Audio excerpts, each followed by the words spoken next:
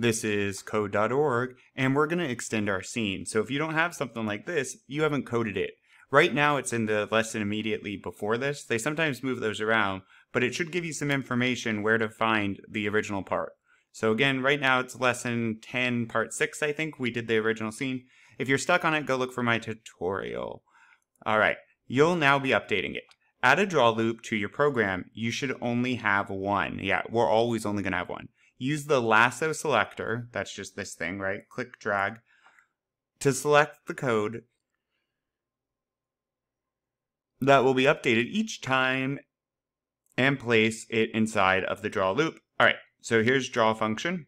That's what they call the draw loop, or that, that's what the draw loop is. And then what, what am I going to place in it? All right, add code to your program to update. Use the lasso. Okay, so what I'll need then is what I need to get drawn repeatedly. All right. What I'll need is definitely my draw sprites, but if I only pull my draw sprites in here, my background was a sprite. So there goes my text. So even though I'm not probably going to update my text constantly, I need to pull in everything. If you have a background, you're going to want it at the top. Usually draw sprites goes towards the bottom unless you have stuff that you want to appear over top of a sprite, like I do. I want this text to be over ba my background image, my backdrop, which is at the top. All right, so add code to your program so that your sprite's X, Y, or sprite rotation properties so they move. Random number, cool. All right, I'm gonna do a different one for each. So let me head over to sprites, and I'm gonna do rotation, and I'm gonna put this, eh, it doesn't have to be above draw sprites, but I'll put above draw sprites, sure. And what I'll do then is I'm going to do hippo dot rotation is equal to random number. And I'm going to do like I saw in this lesson, negative 5 to 5 maybe. Let's see. Yay! Okay.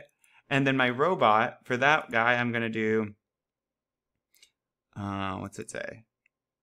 Okay, I'm going to do sprite X. I'll have them, no, let's have them jump. Sprite Y. So I'll put this here and I'm going to say robot.y math, random number. And, oh, actually I should use, oh, it doesn't even give me a plus. Okay, well, what's my robot's default number for y? It starts at 300. All right, so that's fine. I'm going to say 290 and we'll go to 305 for mine. and of course, I can go even taller or higher of a jump. Ah, that's awesome. Cool. And that's my moving scene.